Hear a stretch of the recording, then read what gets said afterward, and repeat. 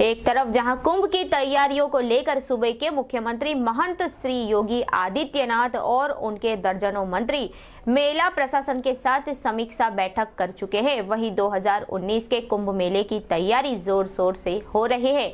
मेला शुरू होने से पहले ही साधुओं का दर्द, छलका, आवाहन अखाड़ा परिषद के पवन जी महाराज ने बताया कि सरकार को मेले के लिए पाँच हज़ार करोड़ से ज़्यादा मेले की व्यवस्था के लिए दिया है।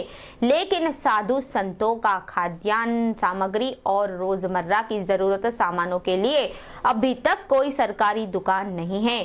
पवन जी महाराज ने बताया कि सरकार पाँच हज़ार करोड़ से ज़्यादा पैसे खर्च कर रही है, लेकिन एक तिहाई पैसा अपने प्रशासन व अधिकारियों के ऊपर ही खर्च कर रही है। उन्होंने बताया कि यहाँ के कुछ दुकानदार प्रयागराज ज़िले को बदनाम कर रहे हैं। प्रयागराज ज़िले में बाहर से आए हुए साधु संतों से किसी भी सामान को खरीदने पर रेट से दो गुना ज़्यादा पैसे ले रहे हैं। पवन जी महाराज ने बताया कि इसकी लिखित शिकायत तो मेला प्रशासन से भी की गई है। बावजूद इसके भी कोई कार्यवाही नहीं हुई, जिसके कारण साधु संतों में भारी आक्रोश देखने को मिला।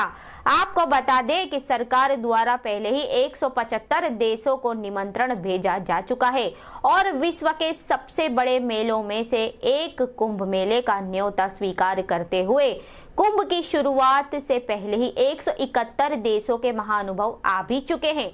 और अनुमान ये भी लगाया जा रहा है कि 10 लाख विदेशी पर्यटकों की आ जाने की संभावना बताई जा रही है। वहीं कुंभ शुरू होने को और कुंभ के मेले की तैयारी अभी तक पूरी नहीं हो पाई है। प्रयागराज से सतीश गुप्ता की रिपोर्ट, समाचार, इंडिया न्यूज़, प्रयागराज।